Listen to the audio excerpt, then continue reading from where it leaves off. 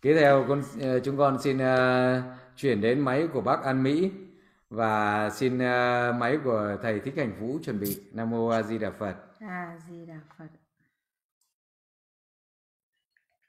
Yeah. Dạ. Nam mô A Di Đà Phật. Kính thưa lão cư sĩ Diệu Âm, con có câu hỏi như sau: Làm thế nào để giữ được tâm Bồ đề kiên cố? Vì chúng con là những người mới học Phật, trên con đường tu học không ít những chướng duyên trở ngại về gia đình, xã hội, vân vân nên rất nhiều lần tâm trí bị sao lãng và giải đãi. Con kính mong lão cư sĩ cho chúng con một lời khuyên để chúng con giữ được tâm bồ đề kiên cố cho đến hơi thở sau cùng ạ. À. Con xin thành kính tri ân công đức lão cư sĩ Diệu Âm. Nam mô A Di Đà Phật. A Di Đà Phật. Làm sao giữ được tâm bồ đề kiên cố? Thì khi gặp trở ngại, nghịch duyên, đừng cái sao lãng, đừng cái chán nản, đừng có bỏ cuộc bỏ cuộc tức là tâm không kiên cố đang tu niệm phật thấy người ta tu cái pháp nào hay quá mình bỏ niệm phật đi theo tu thử. Tu thử là tâm không kiên cố, là tâm không chủ định. Thấy rất nhiều người hộ niệm vãng sanh rồi. Vậy mà nghe một cái bài pháp của các vị bồ tát nói mình hay quá, mình muốn chạy làm bồ tát sớm sớm một chút khỏi cần phải chờ vẫn sanh làm bồ tát làm chi? Tâm mình đã hiếu kỳ. Tâm mình hình như không kiên cố. Tâm bồ đề như vậy rất dễ sao lãng chính vì thế mà muốn giữ tâm bồ đề kiên cố, phải nhớ rằng, khi mà mình chết đi không vãng sanh, mình không trở lại làm người được. Ôi trời ơi, mình đi vào tam ác đạo, khổ nạn trăm bề.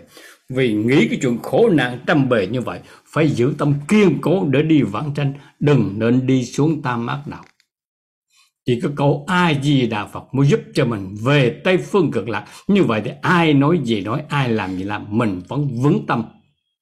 Niệm câu a di đà phật.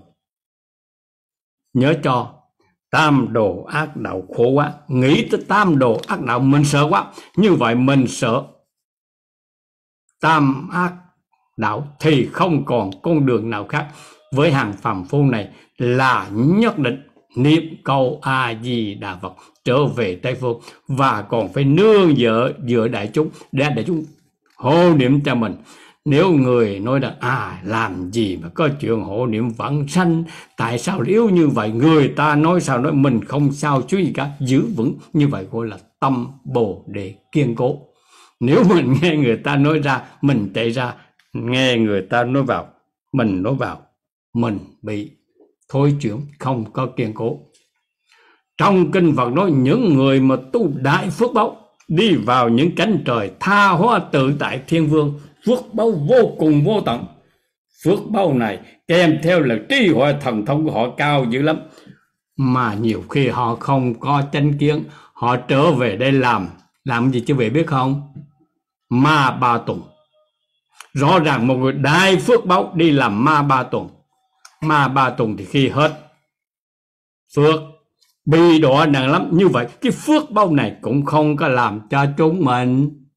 Sao xuyên không làm cho chúng mình bỏ câu a di đà phật. Vậy là mới tâm kiên cố. Như vậy thì xin thưa với chư vị, tâm kiên cố này là chính cái niềm tin vào câu a di đà phật.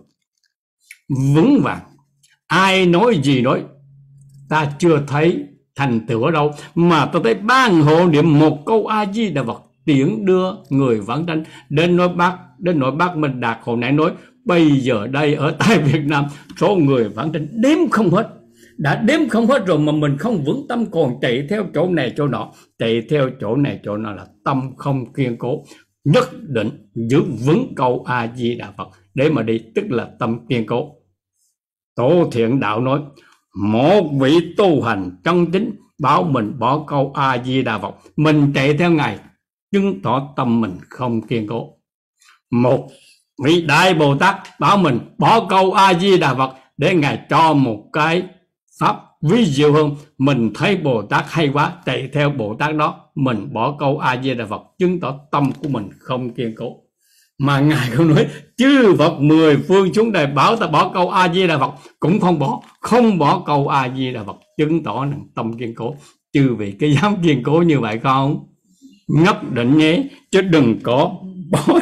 Chứ vậy thì xin thưa với chư vị, bất cứ một cái gì vẫn giữ câu A Di Đà Phật để đi về Tây Phương. Tức là tâm bồ đề kiên cố. Nhờ cái tâm này, nhất định mình sẽ thành tựu đạo quả. A di đà phật. Chúng con xin à, thành tâm cảm niệm công đức của lão cư sĩ Dược Âm